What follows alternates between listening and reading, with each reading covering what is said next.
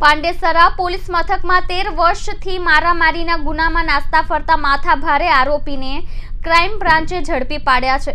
તો આરોપીની ઓળખ છુપાવી રહેતો હોવાનું સામે આવ્યું છે. ક્રાઇમ બ્રાન્ચની ટીમ નાસ્તા ફરતા આરોપીઓને ઝડપી પાડવા મેદાને છે ત્યારે પાંડેસરા પોલીસ મથકમાં તેર વર્ષથી મારામારીના ગુનામાં વોન્ટેડ એવા માથાભારે જીતુ ઉર્ફે રિંકુ શ્યામસુંદર ગોંડાને ઝડપી પાડ્યો છે.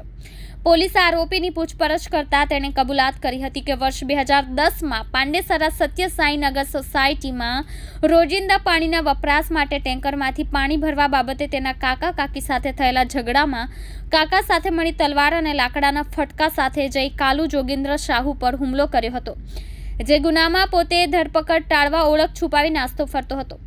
હાલ તો ક્રાઇમ બ્રાન્ચે આરોપીનો કબજો પાંડેસરા પોલીસને સોંપવાની તજવીજ હાથ ધરી છે.